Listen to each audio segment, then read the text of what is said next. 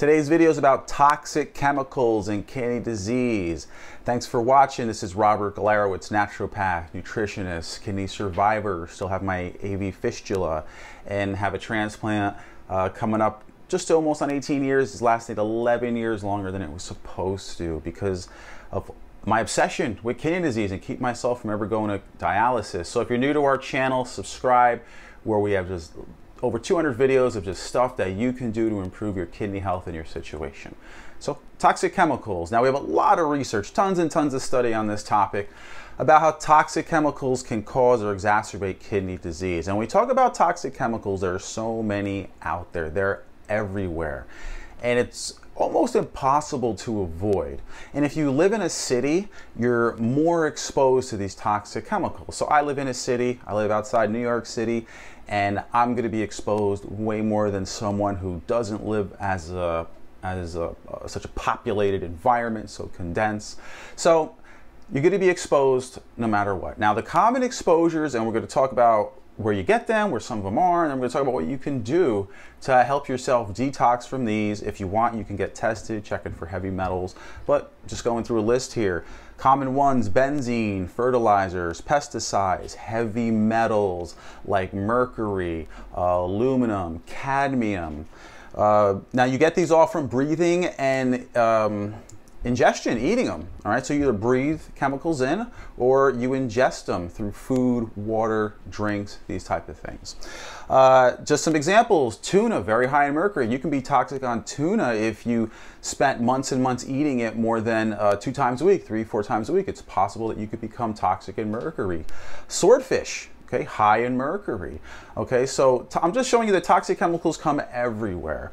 Uh, when you drink out of plastic bottles, there's different types of plastic bottles, and some of them are really high in uh, hormone-like disruptors, weak estrogen-like properties that do a lot of havoc in the body. Uh, PUFAs, polyunsaturated fatty acids that go rancid in different products. Uh, deodorant, Deodorant has aluminum. Go check your deodorant, check the ingredients. Most likely it has aluminum in it unless you're purchasing a natural deodorant. Uh, barbecue, barbecue. When you barbecue, when you get it real black, unfortunately that's you know what I like, so I look to avoid that whenever I have barbecue. It becomes carcinogenic, bad for you, bad for your body. So a lot of bad things happen, glycation end products. So you're exposed to them everywhere. What can you do now? Okay, you can always get tested for your heavy metals. You can do that a variety of ways. You can ask your doctor to do it through blood. Uh, the Environmental Protection Agency does it through hair and nails. So if you're looking for like a hair test, you can just search a hair test online and see if you've been exposed to any of these heavy metals. And then if you have, you should look about uh, chelating them through safe supplements, diet. Um, you're probably gonna have to work with a practitioner if you do, especially if you have kidney disease, so you want to be on the safer side. So you could get tested, that's an option. What I recommend um, if testing is something you want to do is that you want to reduce your exposure. It's almost impossible to, to avoid all these toxic chemicals that are in our environment. But what you can do is, is avoid your exposure. So how do you do that? Okay, you eat it by, you do that first thing by getting clean water. All right, water is super important for the kidney, super important for health.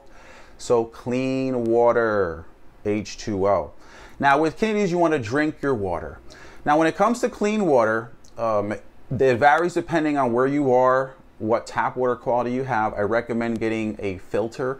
There's millions of type of filters on the market.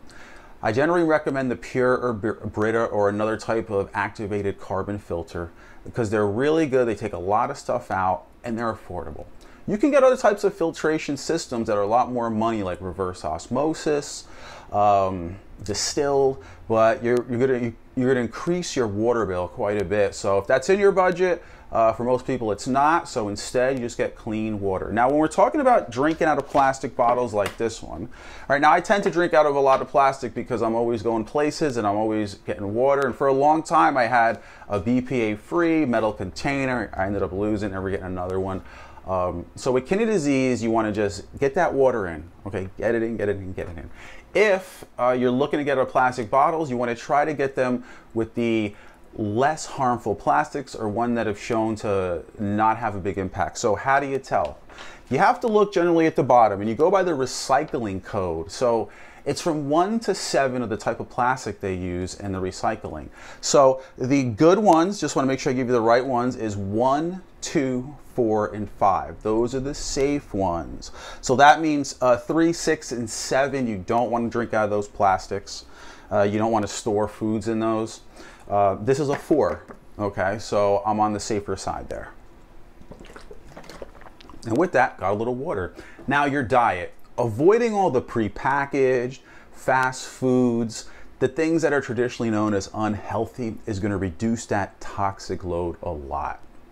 By eating high fiber foods, okay, all those good kidney friendly vegetables, that cabbage, that broccoli, um, any other types of good fiber from apples, from fruits, that fiber detoxes you. So as you eat healthier, you're in a natural state of detox all the time. Some other things you can do if you're looking to speed up your detoxification systems, uh, that's that clean water, good, clean, healthy food, whole foods. You can have a whole piece of garlic, okay, a whole raw garlic. You can chop it up in small pieces, put it on bread, eat it whole. That's going to help speed up your detoxification systems while giving you a lot of good antioxidants. Uh, you can have a half, uh, half a fresh lemon squeezed in water first thing in the morning upon waking. Okay, the theory behind that is uh, lemon acts like a cellular scrub and it pulls sediments and everything out of your body. So that's another thing you can try. Uh, green teas are also great, you know, on a continuous basis, taking them for detoxing. Coffee actually uh, helps the liver a bit to detox. So that's another pretty safe option for everybody out there with kidney disease. So when it comes to reducing your exposure to all these toxic chemicals, don't go like, don't really focus on it and really obsess and go to the extreme with it. Always focus on that good diet, less salt, less protein if, if that's what you're striving for, more fruits, vegetables. And then look for those simple exposures like the cleaner water, whole foods. As far as organic foods, if you can afford it. That's what it comes down to. If it's not in your budget, don't worry about it. Just focus on that eating healthy because that's where majority of studies, actually like 99% of studies show uh, where the benefit is. Okay, uh, don't worry about spending that extra money for organic. It's not going to. Uh, uh, you're not going to improve your kidney disease that much further by switching to organic food, and we don't have studies to even know that. Um, so a lot of people come to me with that. So uh, don't stress on that. All right, thanks for watching to your best kidney health. Look to reduce that toxin exposure. Check out all our videos, like, comment, visit our website. Just lots of great information to help yourself to your best kidney health. Bye.